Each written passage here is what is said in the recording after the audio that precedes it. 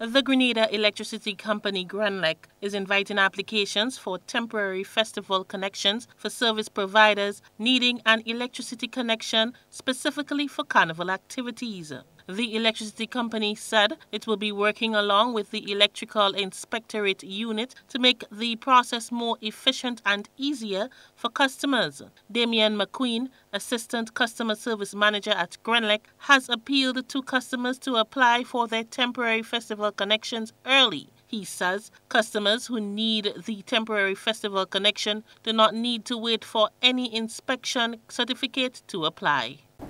Grenlec is raising awareness about our festival temporary connection, which is to facilitate vendors and other service providers who wish to have an electricity connection for the carnival season. We are pleased to partner with the Electrical Inspectorate Unit to ensure that customers are connected in a timely manner.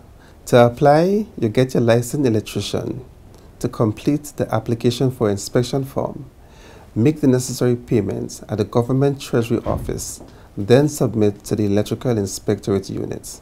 At this point, you do not need to have an inspection certificate to complete this application.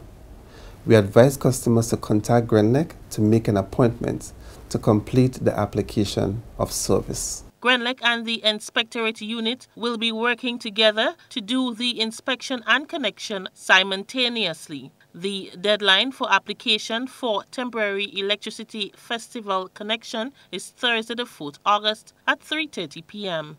For GBN News, I am Rena Pett Thomas reporting.